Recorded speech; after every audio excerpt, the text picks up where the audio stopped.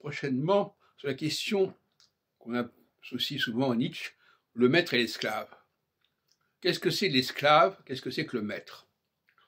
Et euh, l'esclave, euh, au sens figuré, c'est celui qui euh, n'a pas de, qui n'est pas indépendant, qui n'est pas libre de ses propos, qui est tout le temps en train de répéter ce qu'il a entendu, ce qu'il vient d'entendre, ce qu'il a entendu à la radio, ce qu'il a vu, etc.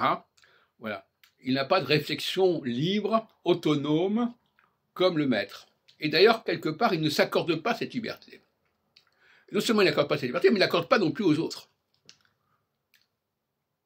Or, le café philo, McDo, c'est un, lieu de liberté où tout le monde peut parler. Pourquoi? Parce qu'on pose des problèmes de manière tellement simple que normalement tout le monde peut accéder à cette réflexion.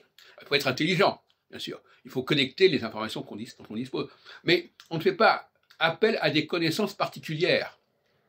Dans les cafés philo McDo, je n'interroge pas les gens sur euh, à quel moment on a fait ceci ou à quel moment on a fait cela, etc.